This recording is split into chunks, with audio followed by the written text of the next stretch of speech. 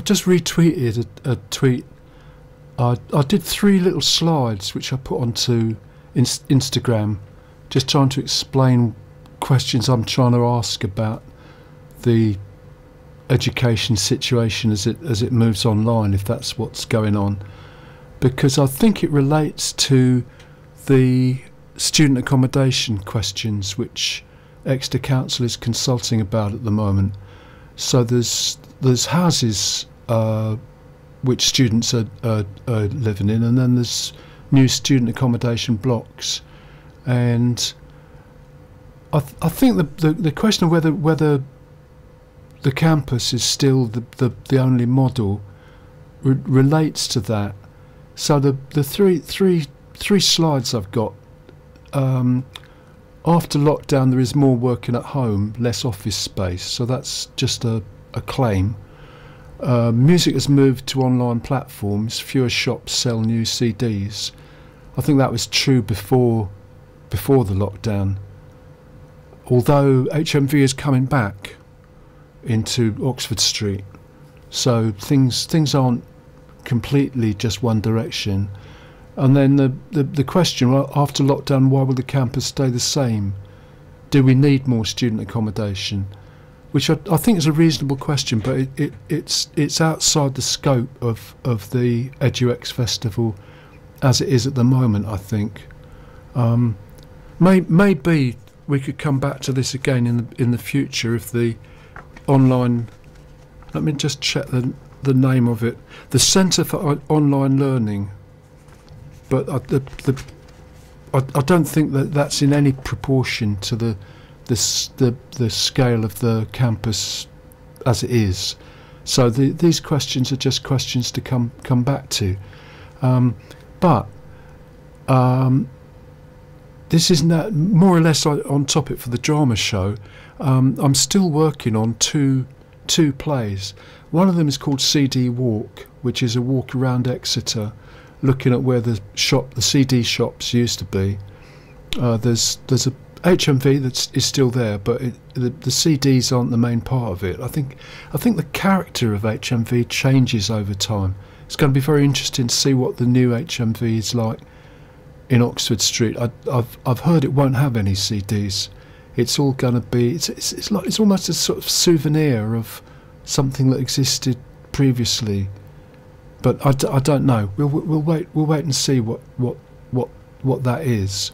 Um, but then looking at where where where where student accommodation is being built and just asking this question. So it could it could be a sort of reality walk, or it could be um, fictionalized. Um, I I understand drama can be ver- verbatim drama or forum drama. There's various ways of doing it and various times it could have been in.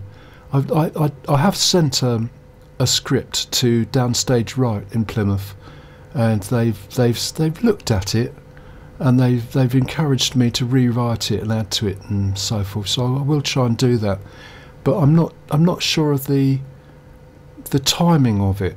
Um, it's as if lockdown was a specific time when that when that draft was written, and that might have been the the time when certain ideas came over and now now have gone away.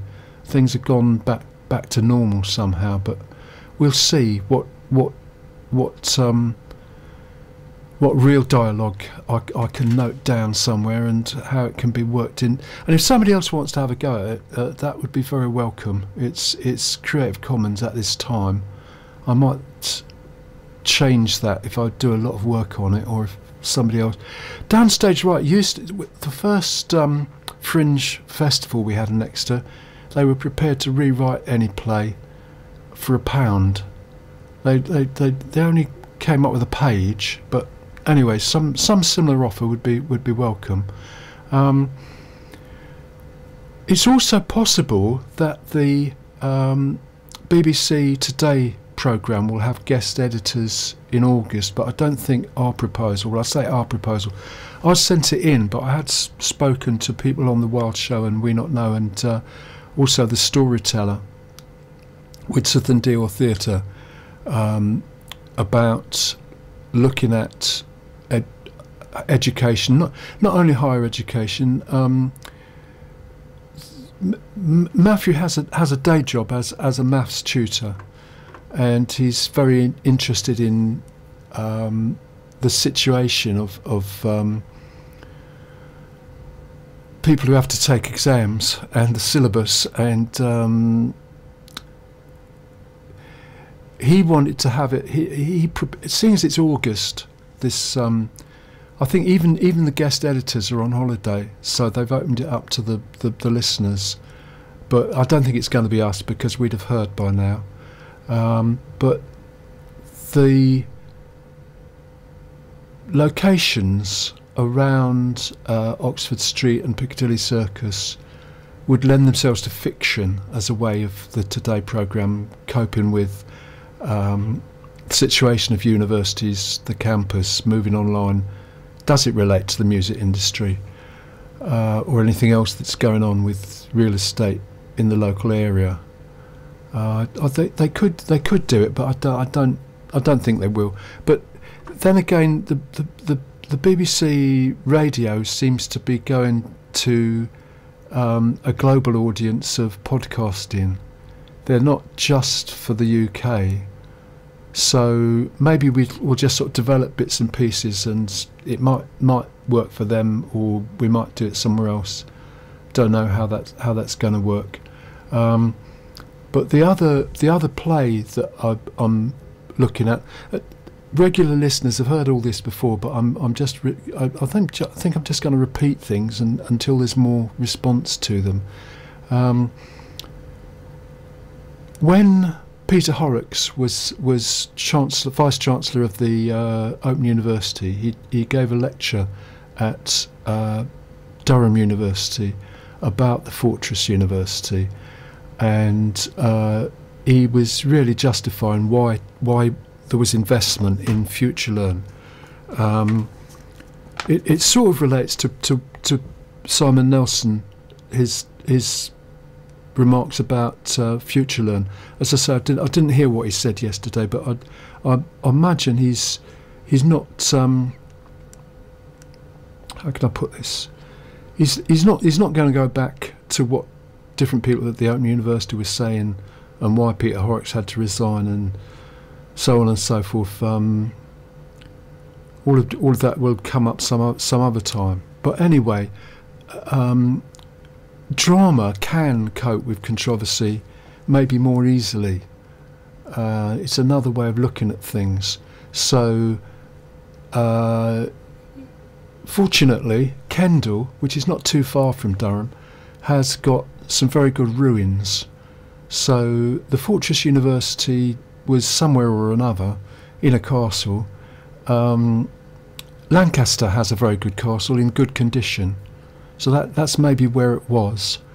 Um, but the the science fiction set in the future about the ruins of the Fortress University can be located at Kendal, and the stand-up philosopher, also known as part of Widsworth and Deal Theatre, uh, last summer, I I got an assurance that um, he could well visit. Well, he will be in the Lake District. He plans to be in the Lake District next summer, so he could appear at Kendal Castle ruins, and there there is a platform there. There's a there's a, a clear sort of uh, raised space you could surround the uh, with an audience, and uh, the the stand-up philosopher could um, offer opinions on what has happened to the Fortress University, why it's in a ruin, and uh, what else continues.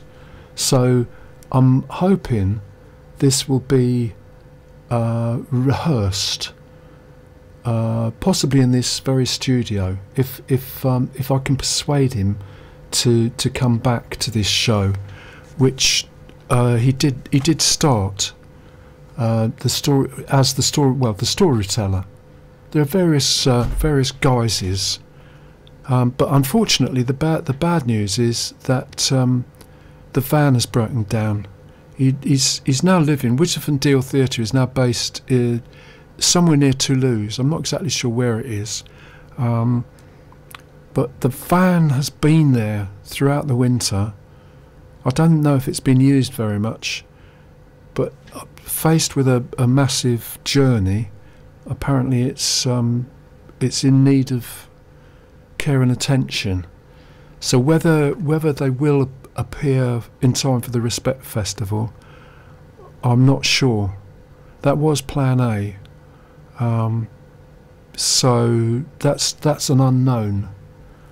But all I'm all I'm saying is that um, sometime next summer, the stand-up philosopher, the stand-up philosopher, will be located in the ruins of the Fortress University, and would say something, or uh, I may have to do it all through virtual reality and sampling, so forth.